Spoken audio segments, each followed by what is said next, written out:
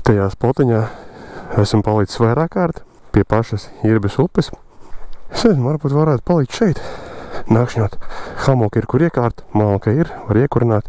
Man vēl jābrauc ir 455 km.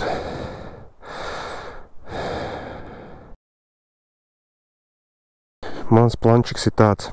Mēģinu vilkt līdz Ugālai un nakšņošu pie Pūzes ezera. Mēģināsim. Būs jāpabrauc mazliet pa tumsu, bet nekas, jo man līdz teta beigām 455 km līdz Ugālē apmēram tur 50 ir, tad man rītdienai paliek 400, 400 es varētu rītdien arī nobraukt. Laižam! Šitās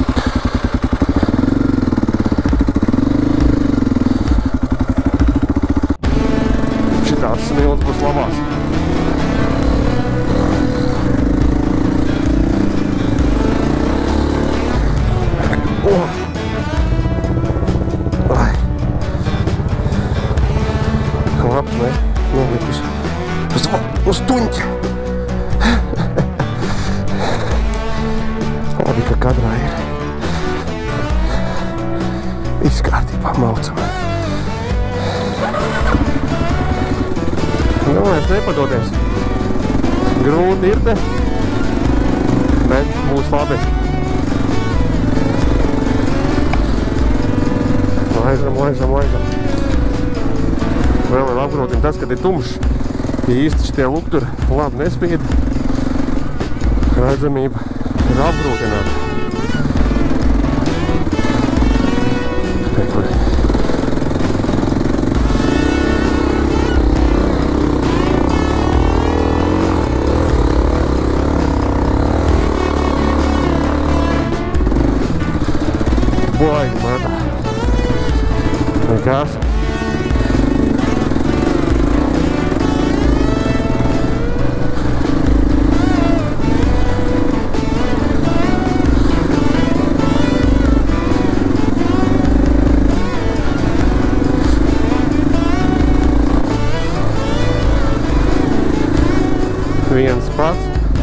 Kurzemes mežos.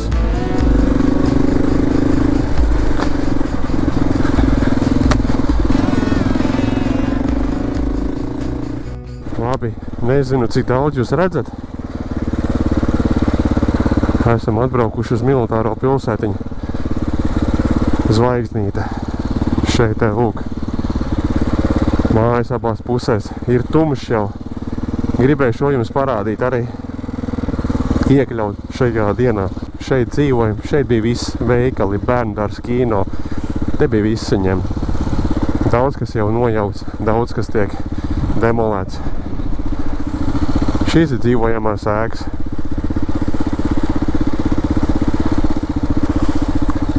Šeit dzīvo tie vietējie bombuši, kas ir divi. Diskās, ka viņi te vairs nedzīvo. Te bija vēl daudz sēks, bet nu jau viņas vairs nav. Diezgan tā seriāla sajūta, ka tu viens pats šādā pamestā vietā. Bija normāla grantene, braucu pa granteni, un tagad ir mežā šitā te. Bet tas man sāk nepatīk, jo esmu viens pats kaut kādā nekurienē. Un vissūdīgākais tas, ja kaut kas notiek, nu, līdz šeinai ārā izstiept moci vai kaut ko tam līdzīgi. Jā, un sūdīgākais tas, ka tev ir sūdīgas gaismas mocim, un tu esi dezorientēts. Tu neredz apkārt. Tev braukšanas ātrums ir 40, 50. Un tu vispār nesaproti, kas tumsā tev apkārt notiek. Tu īsti neredz normāli. Oho, kaut kāda grantanīta.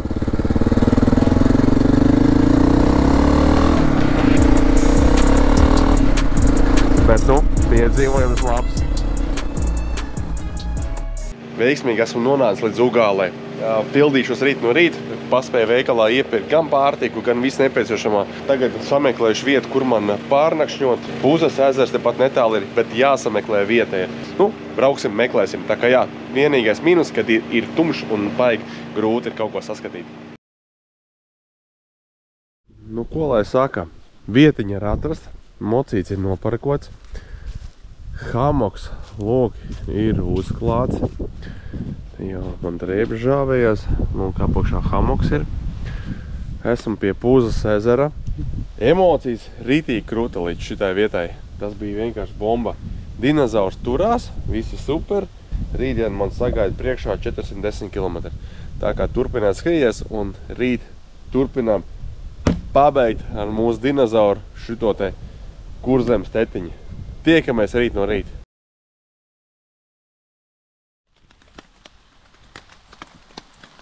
Oh, labrīt! Oh, piecēlos. Zeķis nedaudz panakt. Pažāvējās, jā. Jāēd brokas, jāzer kafiju, jālaiž tālāk. No rīta puses sāk līt, visu laiku līt tagad. Bet neko, nav variantu. Ir jābrauc. Tagad vismaz iziešu ārā, apsīšos, kas notiek apkārt, kur es esmu. Šādi šeit izskatās. Lūk, šeit es arī gulēju. Šī te tā atpūtas vieta, piknika vieta, pupi pie Puzas ezera.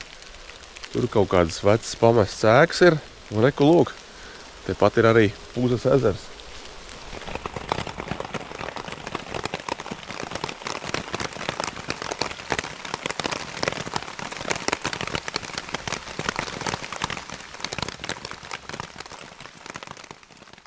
Pēdējais tiek noņemts starps.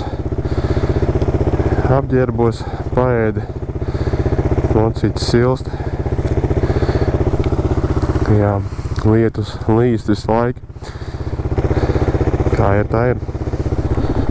Nu ko, laižam. Ugāle, uzpildīties un tad tālāk.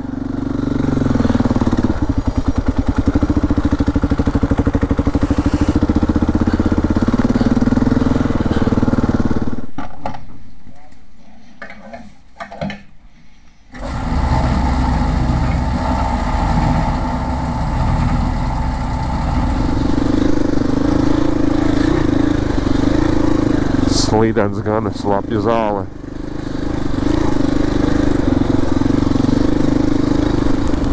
Kad ir šāda laika apstākļi, mēs ļoti labi mākam iemācīties līdz ar to uz nākamajām reizēm. Tas mums liek mācīties un mainīt uh, ekipējumu uh, un labāk sagatavoties nākamajos braucienos. Piemēram, tagad es zinu, ka man būs nepieciešama kaut kāda maisiņa. Jā, paņemšu nākamreiz kaut kādu miskas maisis, bikses labāks, lai nav slapš, jā. Nu, tādas lietas, apaus varbūt kaut kādus pareizākus. Tā kā šitas ir ļoti labs tāds treniņš piedzīvojums, kad ir slapš un lietains. I feel nauseous, believe me. Never had a lot of shit come easy. Had to work hard, struggle just to be me. Had to rise up just so they could see me. Did what I had to do just to feed me. And what was left over, I put towards my dreaming. But the only thing in life that has meaning are the things you gotta work for, believe me.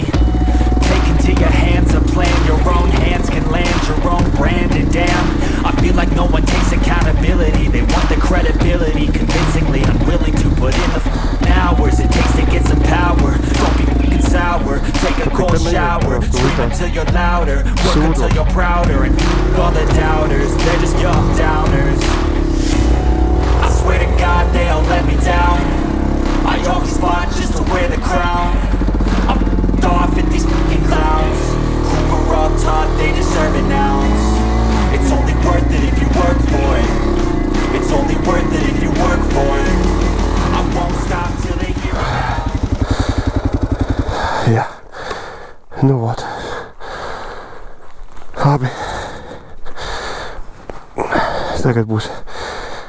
Jāpadomā, kā tikt ārā no šejiena. Šito vietu es atceros, to vietu pagājušajā gadā mēs sabraucām gar meža maliņu. Tur bija ritīgi forwardi, es izgāju uz dubuļu. Tāda bija kā, nu nevarēja riskēt. Laižam tālāk.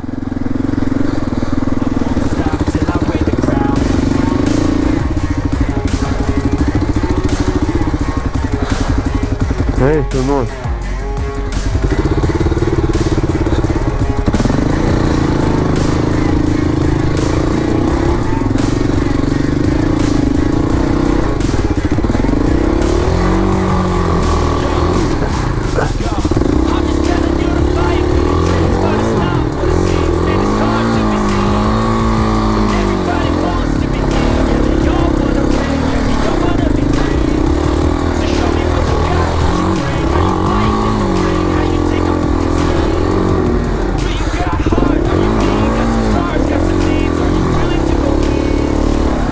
I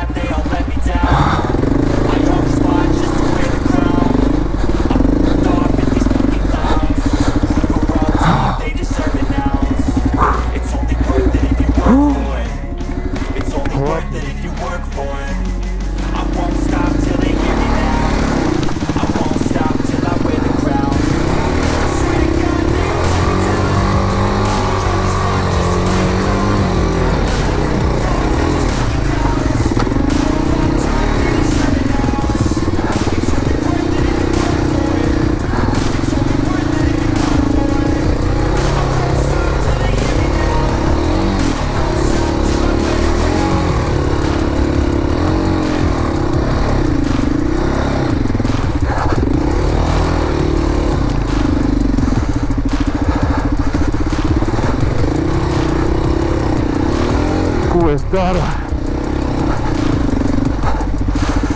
Viens pats. Oh. Šī ir tāda interesanta vieta. Var iebraukt, uztaisīt bildi.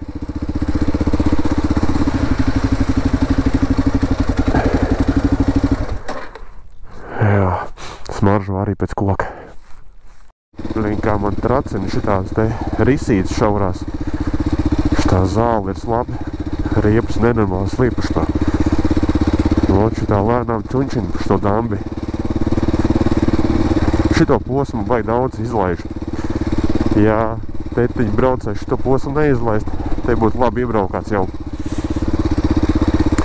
Bet jā, es gribu izbraukt simtprocentīgi visu. Neko.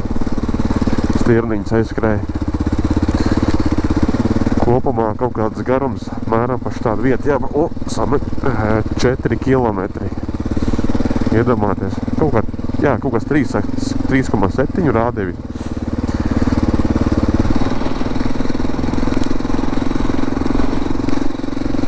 Skaisti.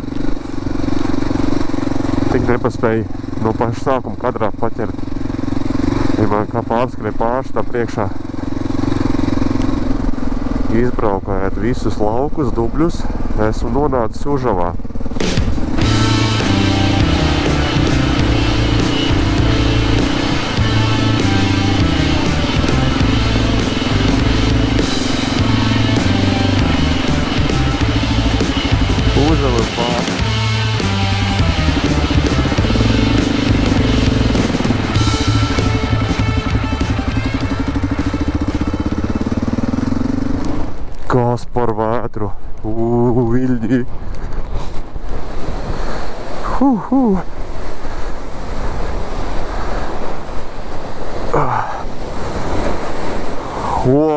Šļakstās. Labs. Nu ko, šeit es arī esmu iečekojies. Bet labs, kā tā jūra ir. Wow, super. Vilnīši labi šļakstās. Braukt garām šai vietai un neiebraukt. Tas nav iespējams.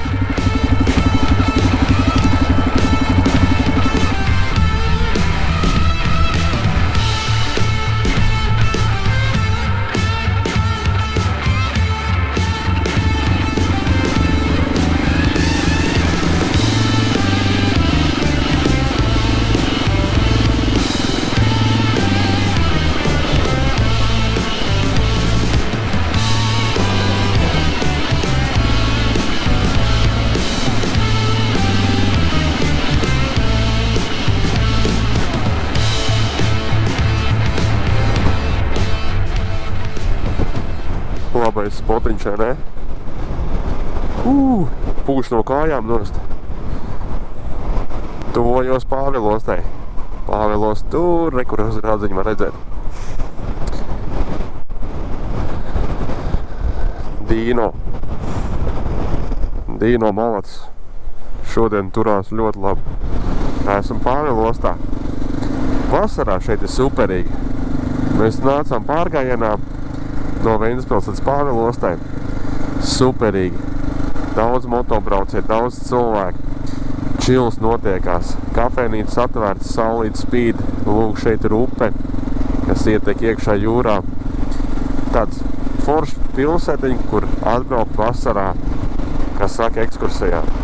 Šeit ir tāda interesanta degvielas uzpildes stacija, maziņa, kur var uzpildīt forši padzert kafiju, un arī viņiem var uztankot kuģīšus, ja grib.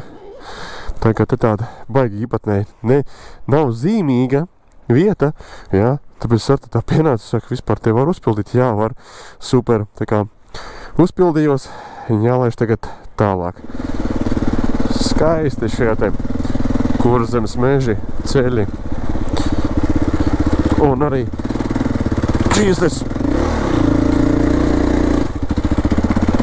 šīs smilšainie ceļi.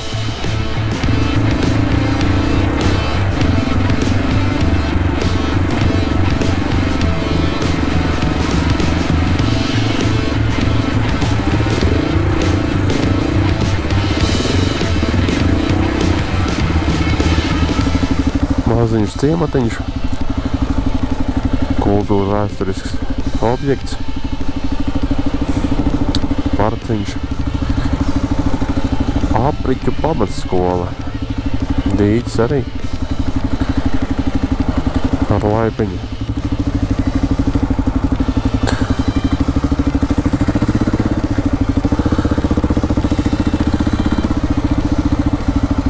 Un no otras puses muzejs.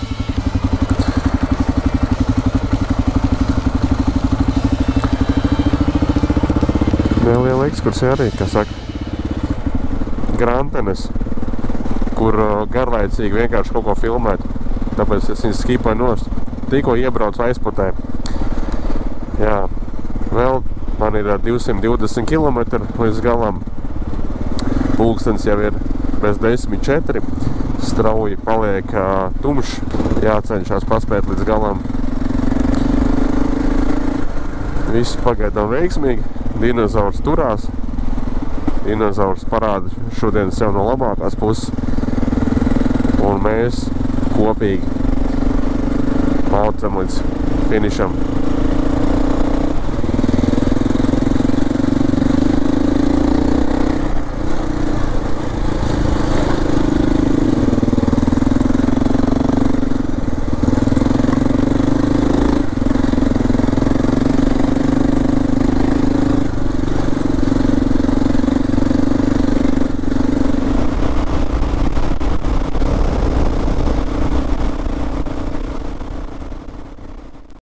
Vecais militārais mantojums, vecas bunkurs, ļoti liels.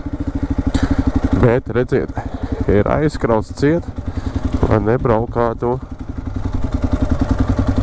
Nu neko, kādreiz tur varēja iebraukt iekšā, nu jau vairs nē. Nu, priekšā ir venta.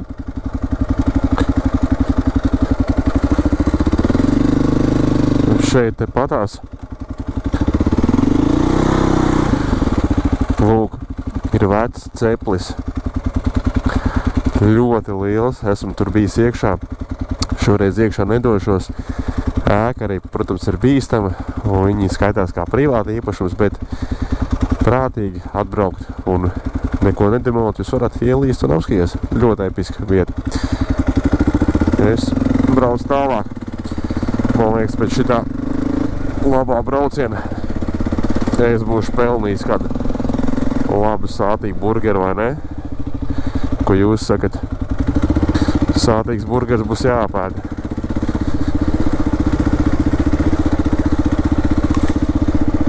Jā, maršrutiņš šitā te ved, caur šitādām sētiņām.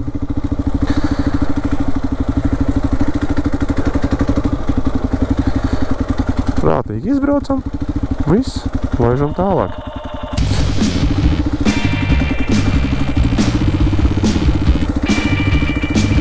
Slidenās pļaus takas.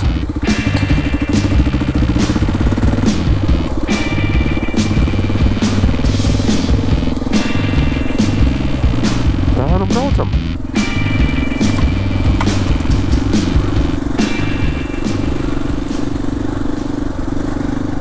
Ātri parādīšu jums, jo man atmiņas kartē maz iecēs palīdz griezas luterāņu baznīca.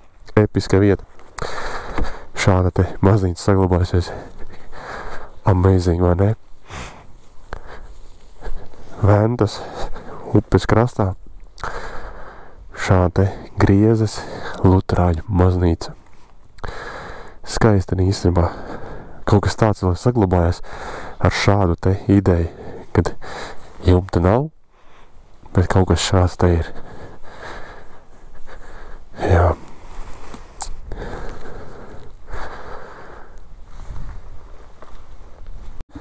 Te patās pie griezes baznīcas ir upe Venta. Reku ir Latvijas robeža, un tur rekur otrā pusē valnim ir Lietuva. Pēc kartes, jā, Venta. Mēs esam šeit, reku otrā pusē Lietuva jau. Šeit otrā pusē Lietuva. Jā, episki vieta. Un šeit arī ir uh, spotiņš, kur var palikt par nakti. Te patās arī.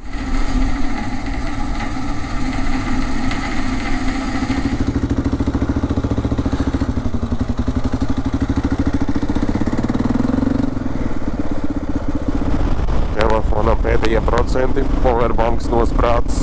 Man vēl 120 km. Es ceru, ka telefons izdzīvos, lai es varu navigēt. Manā primārajā telefonā nav tās aplikācijas. Kaut kā viņam izies no situācijas. Bet jāmauc, būs labi. Tie, kas zina, šī man tā traumatiska vietiņa ir, kas skatījās pagājušā gada tetiņa, kad es braucu šo kurzems, kur es te ieliku betonu malā šajā te atdūros un tu uzmet tur kūleni, un tā kā jā, viss te bija interesanti. Šoreiz es augšā nebraucu, tāpēc, kad viss šitā taka ir dubļaina, slidena, viens pats esmu negribēju riskēt, tā kā pēc dinozaurs palika lejā. Bet es uznācu augšā, uztaisīt bildi, iečekoties un, kā saka, laižam tālāk, jo maz laiks palicis, vēl 100 km jābrauc.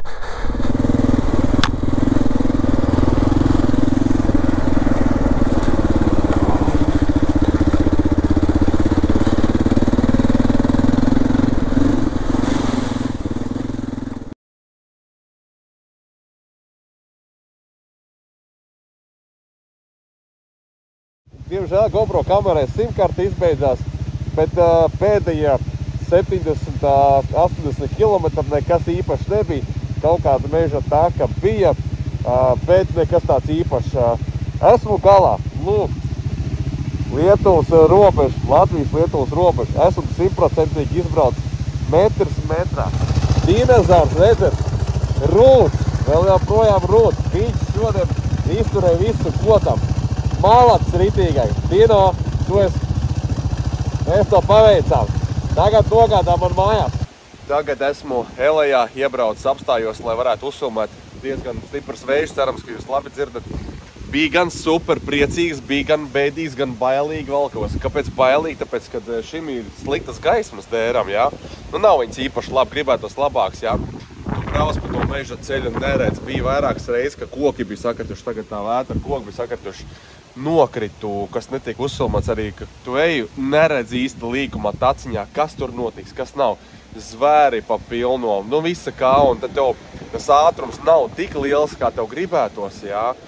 Un tevs laiks spiež un tumšs un uh, slapjš, drēgans, vējš, nu viss kopā liekas tas baigtām. Bet jā, kopumā ļoti labs piedzīvojums. Pēc šādiem braucieniem, kad mēs kaut kāds dabūjam diskomfortu, mēs iemācāmies un nākamreiz labāk sagatavojamies un sapratīsim, kā sagatavoties, kas jāņem līdzi, ir nepieciešams tam līdzīgi. Tāpēc nebaidieties braukt arī kaut vai viens pats, jo tas ir pavisam cita veida piedzīvojums.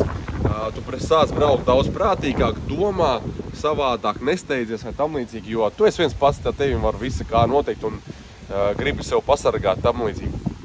Malats. Dinozaurs Malats izturēja līdz galam visu cieņu viņam sākotnēji parādīja kaut kādu raksturiņu, elektronikas problēmas, bet tas varbūt bija apzināti, ka viņš man teica, roli piebremzē, nebrauc tagad, jā. Visi izturēja, visas tās dziļās peļķes, dubļi, kas bija ārpros, tur bija tādi posmi, kad, nu, bet, nu, malacis, vienkārši mauc. Ekipējums viss kārtībā, uh, GoPro, viss super, navigācija nosēdusies jau, jā. Uh, nav lādēšana viņam. Šī aciņa baigi laba, zābaki man gan ir, nu nekādi, jā, maisiņos jātur iekšā, bet viss ir kārtībā. Labi, liels paldies, kad skatījāties. Noteikti nospiediet laiku, ieliksiet kā komentāru, kā jums šis te formāts patīk. Tiem, kam patīk mans kontents, mans saturs un vēlās mani atbalstīt, noteikti aprakstā ir links uz Patreon. Var atbalstīt mani pāris eiro mēnesi. Liels paldies esošajiem atbalstītājiem, tie, kas man jau atbalsta Patreonā. Pietiek runā, jādodas mājās, tiekamies nākamajās video. Paldies, ka skatījies. Čau! Dino, tu biji malacis.